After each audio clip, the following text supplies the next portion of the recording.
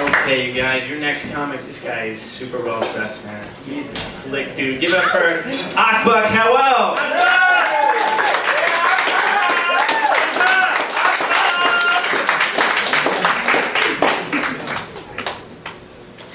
Walaikum shalom. My name is Akba. And I know what you're thinking right now. Bald is not the natural color of my hair. They say bald people have all the fun. Wrong!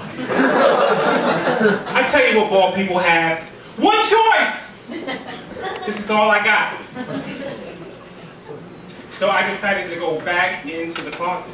The alternative lifestyle is too stressful. Apparently, angry black man is not the only alternate choice I have. I found that that particular lifestyle comes with a style of living, yeah, homelessness. Because white people do not like angry black men named Akbar. My advice, if you're black and you feel misunderstood, keep it to yourself. the one good thing about that, being misunderstood for that time, at least you're employed. so to offset my blackness, I married a white woman. I figured one white person at a time, I'll win them over.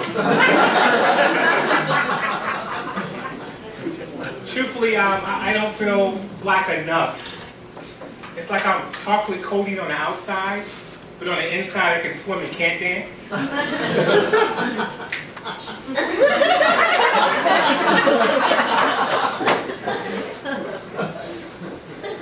And also, you know, walking around the project telling my friends that uh, resistance is futile, it go well. so I'm very racially sensitive when I'm with my wife, so I'll say, hey, hey, can you, can you pass me those crispy, round thin things? Crackers? I didn't say so my wife called me something the other day that I'm not sure if it's a compliment or an insult. She called me an enigma. I thought we weren't going to use those kinds of words.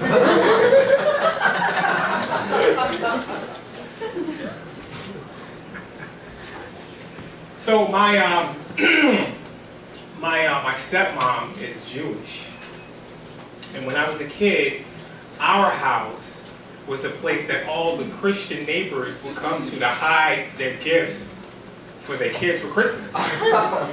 Only I didn't know that. I remember my first Hanukkah.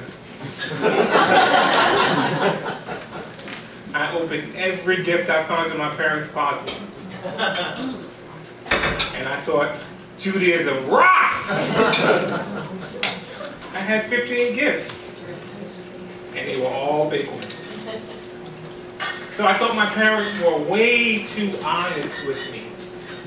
They told me things like, uh, there's no such thing as the Easter Bunny. There's no such thing as black leprechauns. there's no such thing as toothless. And I remember thinking to myself, what are they going to tell me next? I'm black? Thank you so much.